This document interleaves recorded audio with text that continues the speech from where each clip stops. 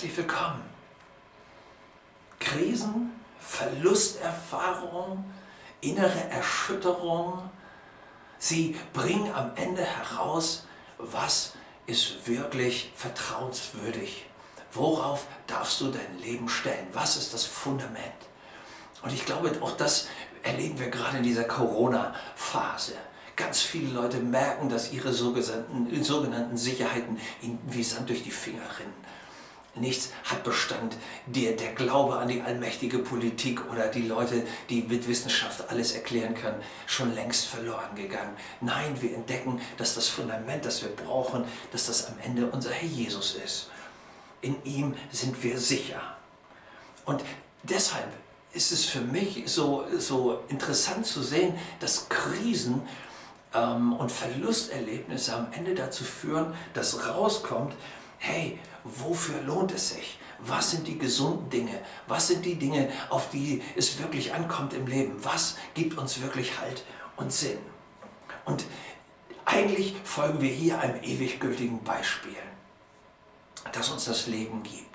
Nämlich, wir wissen alle, in der Bibel gibt es so einen Satz, da heißt es, wenn das Weizenkorn nicht in die Erde fällt und stirbt, wird es nie Frucht bringen.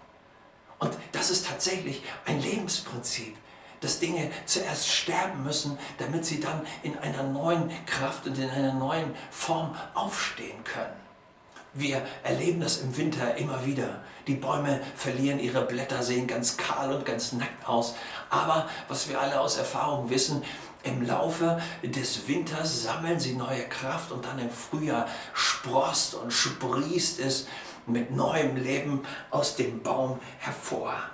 Und ich glaube, dass der Baum uns lehren möchte zu sagen, hey, Gott macht keine Fehler.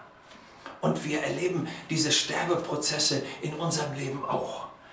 Wir verlieren unsere Jugend. Schau mich an. Ja, das war alles schon mal knackiger und weniger grau die Haare und so weiter. Natürlich, aber wir gewinnen auch eine enorme Lebensreife. Wir verlieren unsere Illusion. Ich wollte mal Astronaut werden, eine eigene Fußballmannschaft haben und so weiter. Und wir merken, hey, alles so, so komische Träume, die wir losgeworden sind. Und das war gar kein Fehler. Wir verlieren unseren vertrauten Alltagsablauf im Umbruchprozess. Krankheit, Arbeitslosigkeit, Umzug, Kinder ziehen aus dem Haus, neuer Job ähm, und so weiter. Und es ist, es ist ein Verlust, ja, aber am Ende ist es auch oft ein Gewinn. Wir erleben katastrophale Verluste. Geliebte Menschen sterben, Freunde verraten uns. Und auch wir Frommen, wir verlieren oft unsere geistlichen Scheinwelten. So fromme Gedanken wie Gott sorgt immer für unser Wohlbefinden. Die Gemeinde sorgt dafür, dass unserer ganzen Familie in allen Bereichen immer alles abgenommen wird. Alle müssen mich lieben, niemand darf von mir etwas erwarten. Und wir verlieren diese Illusionen irgendwann. Und ihr Lieben, das ist gut so. Weil Verluste führen zu einer Entscheidung, nämlich entweder ähm, wir lassen es zu, dass Verluste unser Leben zerstören, weil wir uns versuchen, krampfhaft an Dinge zu klammern, die wir nicht halten können, oder wir öffnen uns für neue Möglichkeiten, für eine Umwandlung, für eine neue Höhe, für einen neuen Level der Liebe, der Kraft, der Versorgung, der Hilfe Gottes.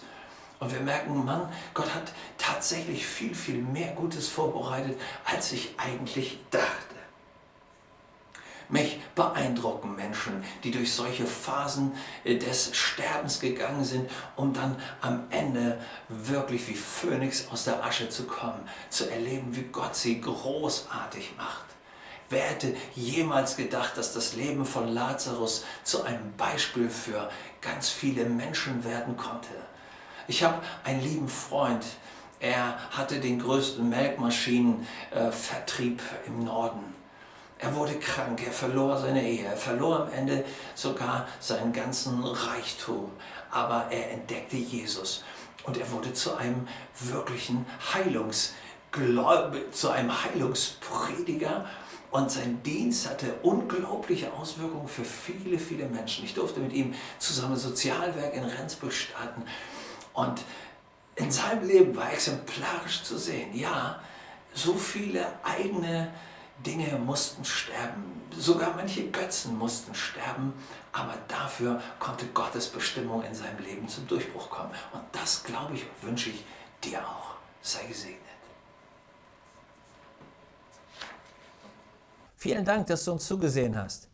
Wenn du mit dieser Art von Predigt was anfangen kannst und uns unterstützen möchtest, dann würden wir uns freuen, wenn du uns bei betterplace.org oder direkt per Überweisung helfen könntest. Vielen Dank.